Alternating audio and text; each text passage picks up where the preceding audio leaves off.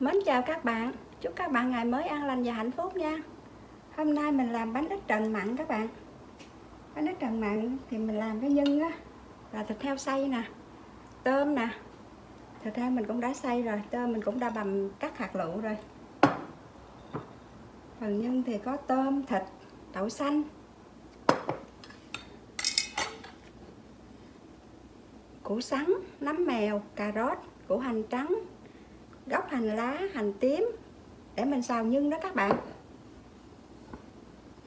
Mình có đây là dầu hào, dầu mè, bột nêm gà, đường, tiêu, muối, dầu màu đều. Để mình xào tôm đó các bạn. Mình có đây là chén tôm khô. Một chút nữa mình sẽ xay nhuyễn mình phi lên, để mình trải lên mặt cho nó đẹp. Mình có làm thêm một tô đồ chua, để chút ăn kèm chung cho đỡ ngán đó các bạn. Thì phần vỏ bánh thì mình có bột nếp. Mình sẽ làm bột nếp. Mình sẽ không trộn cái gì ngoài bột nếp nha các bạn. Bây giờ thì mời các bạn xem clip của mình nha. Trước tiên thì mình sẽ pha bột trước. Mình à, nhồi bột trước, xong rồi mình để cho bột nghỉ á rồi mình sẽ đi à, làm nhân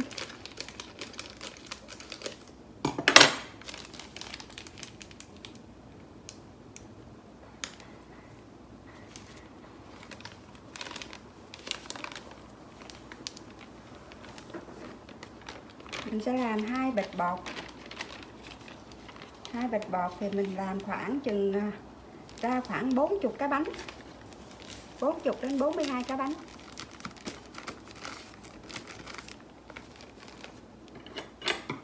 Nếp thì mình làm hiệu nào cũng được nha các bạn. Mình làm theo cách à, xưa giờ nhà mình hay làm á. Mình chỉ làm bột nếp thôi mình không có trộn bột gì hết. Bây giờ thì mình sẽ nhồi bột. Tay mình cũng đã rửa sạch rồi. Bột á, thì mình nhồi bột á, mình không có cần phải đông lượng là bao nhiêu nước. Mình cứ nhắm bột. Khi nào mà mình, mình nhồi đó bột nó vừa tay là được rồi tại vì mình khó mà cân đo nước lắm. Có khi bột cũ bột mới đó các bạn.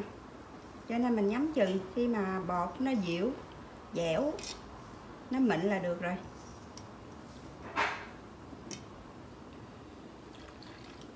Mình nhồi đây là nước ấm nóng nha các bạn.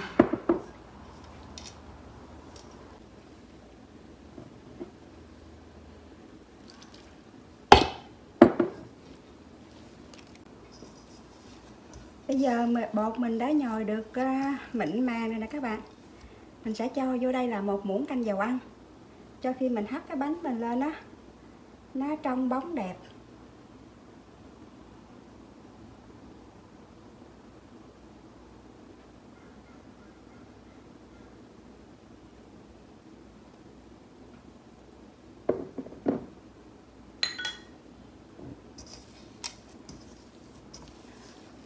Và mình nhồi tiếp.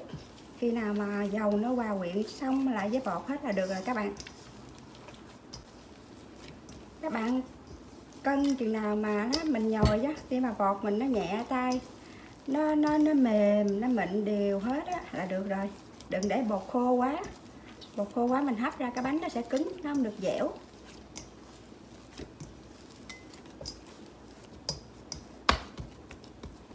Như vậy là đã xong rồi nè các bạn bây giờ mình sẽ cho bột nghỉ khoảng 30 phút. Thời gian này mình sẽ làm nhân nha các bạn. Mình đã bắt nồi lên. Bây giờ dầu mình cũng đã nóng rồi các bạn. Mình sẽ cho gốc hành, mình cho củ hành trắng vào trước nha. Củ hành trắng với lại à, hành tím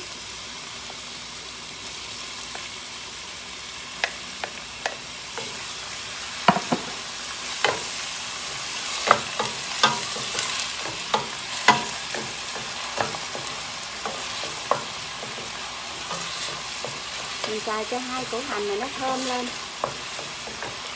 Thì mình sẽ để thịt vô. Bây giờ thì củ hành đã thơm lên rồi các bạn. Mình có cho thịt xay vô trước nha các bạn. Hay là mình dùng một thoi heo xay. Thì các bạn làm bánh nhiều hay ít bánh đi các bạn. Mình làm ít thì mình làm nhưng ít. Bớt thịt lại.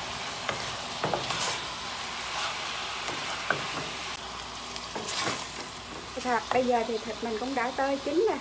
Mình sẽ cho tôm vô nha các bạn.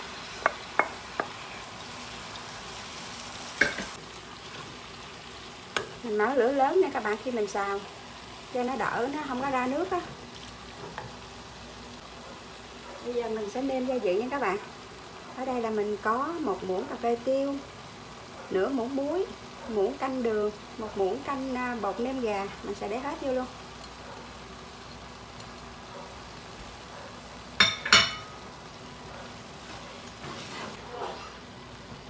Kế tiếp thì mình sẽ cho một muỗng à, canh dầu hào vào.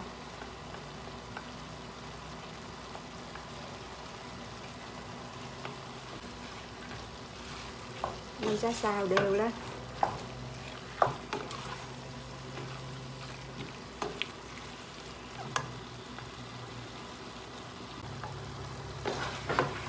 Khi mình xào đều thịt tôm gia vị rồi thì mình sẽ để à, củ sắn vào.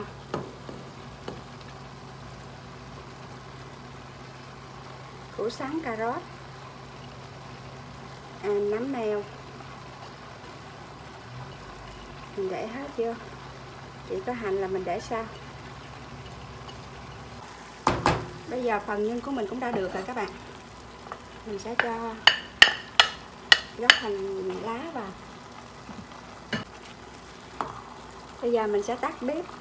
Mình sẽ để đậu xanh cuối cùng nha các bạn. Đậu xanh thì mình đã hấp chín rồi.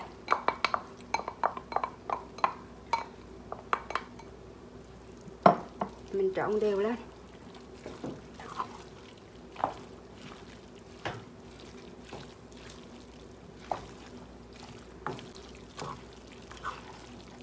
Vậy là phần nhân của mình đã xong rồi đó các bạn.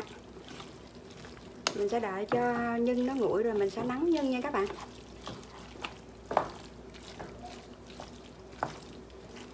Phần nhân á, ai thích ăn đậu xanh nhiều thì để nhiều. Thích ăn ít thì để ít. Mà nếu mà đậu xanh nhiều quá thì sẽ gây dễ gây ngán lắm các bạn. Cũng vừa phải thôi. Nhiều đậu xanh thì làm cho mình mau ngán.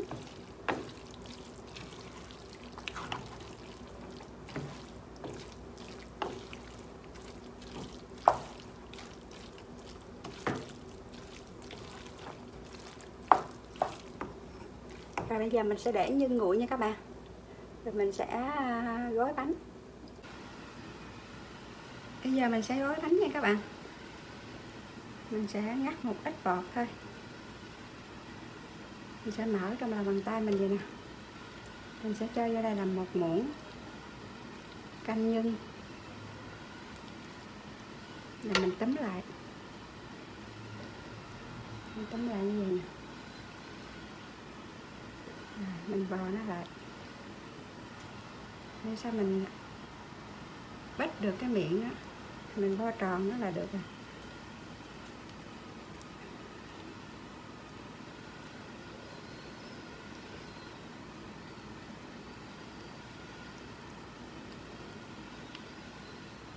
Làm vừa vừa thôi các bạn.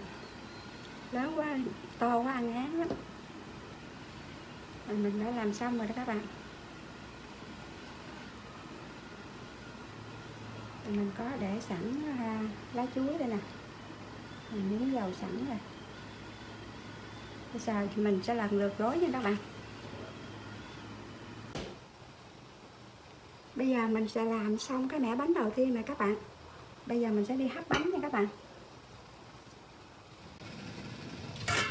Đây, thì mình cũng đã chuẩn bị xong à, nồi nước sôi rồi nè. Bây giờ mình sẽ để bánh vô mình hấp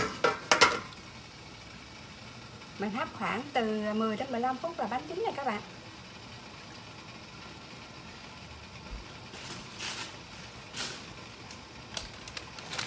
Mình sẽ đậy ờ, cái giấy thấm dầu á các bạn, cho nước đựng nhiễu vô bánh đó nó sẽ bị ướt bánh. Bây giờ mình sẽ hấp 10 đến 15 phút nha các bạn. Bây giờ mẻ bánh của mình cũng đã chín rồi này các bạn. Mình sẽ lấy ra nha các bạn sau 15 phút.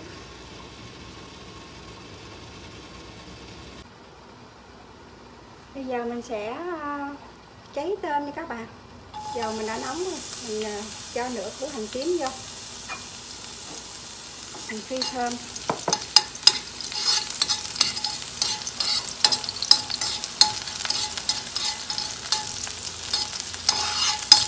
phi cho hành tím nó thơm lên nha các bạn. Mình sẽ cho vào đây một muỗng canh dầu màu đều. Để cái màu cơm nó được à, đẹp đó các bạn.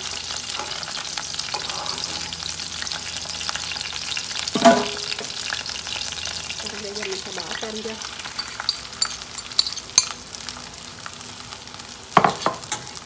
Mình mở lửa lấy lên một nhỏ nha các bạn.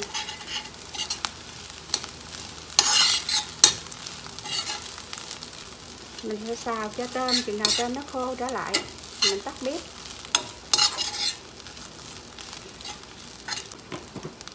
Mình sẽ cho vô đây một muỗng cà phê đường nha các bạn. Chỉ bỏ đường thôi.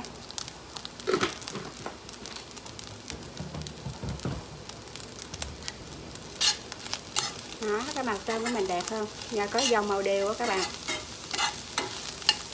Màu tôm nó sẽ sáng lên, đẹp lên.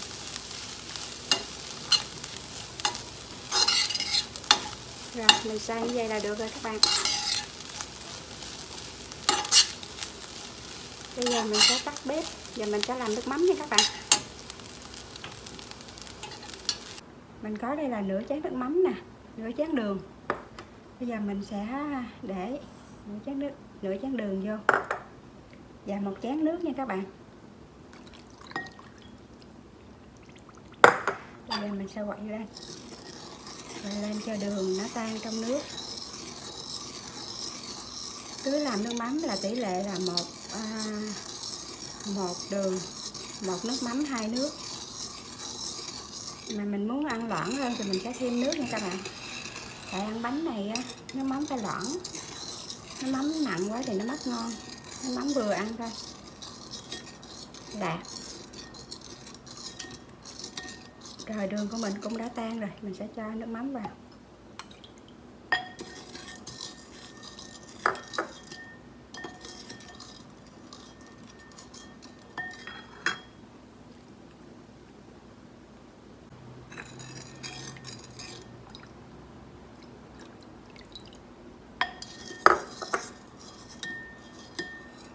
Rồi, mình sẽ cho nửa trái chanh vô nha các bạn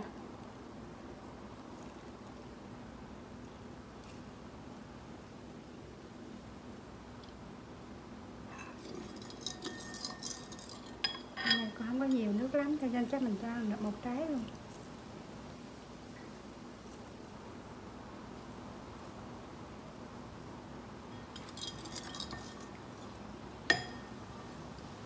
Rồi, mình sẽ cho ớt vào. Ớt này mình đã bằm nhuyễn rồi.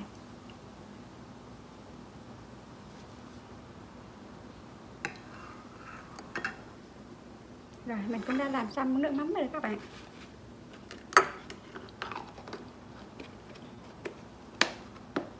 Mình cũng vừa làm xong à, dầu hành.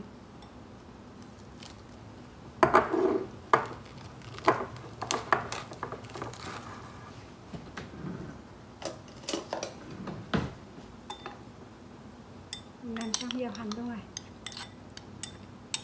Bây giờ mình sẽ chuẩn bị ra thưởng thức nha các bạn. Mình cũng làm xong bánh ít trần mặn rồi nè các bạn. Bây giờ mình thưởng thức nha mình sẽ cho nước mắm vào. Cái mắm này mình pha rất là loãng không có mặn. Mà các bạn dùng bánh với mình nha. Nếp rất là dẻo luôn á. Mình chỉ làm bột nếp thôi. Cho nên nếp rất là dẻo. Khi bánh nguội là vẫn dẻo. Mà, mà các bạn dùng với mình nha. Uhm.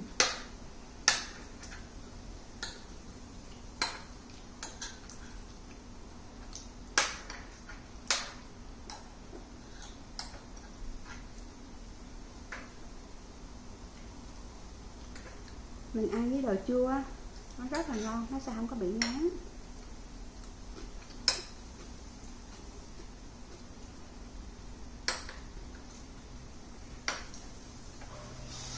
Nhưng cũng vừa ăn nếp dẻo. Tôm cháy hành phi rất thơm. Nếu các bạn thích làm món này á, làm thử một lần ăn nha.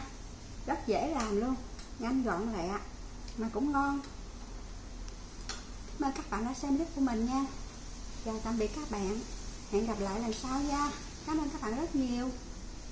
Bye bye.